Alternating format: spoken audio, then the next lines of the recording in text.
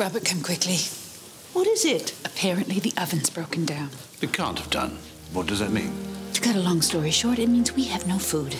Oh, funny clothes and no food. Should be quite an evening. Thank you, Mother.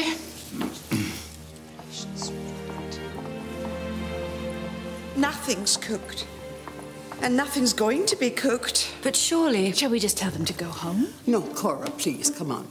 They've come for a party. We're going to give them a party. Carson, clear the table. You go down to the larders. You bring up bread, fruit, cheese, chicken, ham, whatever's edible. We're going to have an indoor picnic. They're going to eat whatever they want, wherever they want, all over the house. Are you quite sure, madam? It's not really how we do it. How you used to do it. Oh, come on. It might be fun. I agree.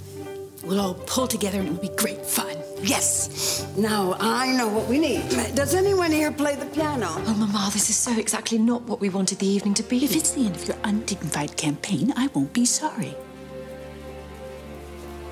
we can't just give up.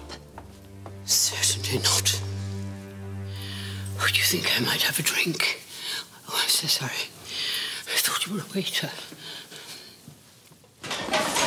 Slice that finely and fetch some parsley and cut the dry bits off. You're good to lend a hand. I don't mind helping. I think it's good to do other things sometimes. I know you do. There's not much left of this. Better cut it in squares and put it with the ham. You're very smart in your new valet's outfit. Alfred, go and check the meat ladder. Bring anything back you think a human being could swallow.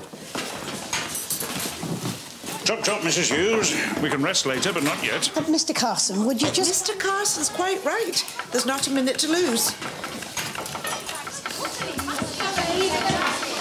Now, all of you, find whatever it is you want to eat and take it wherever you want to sit.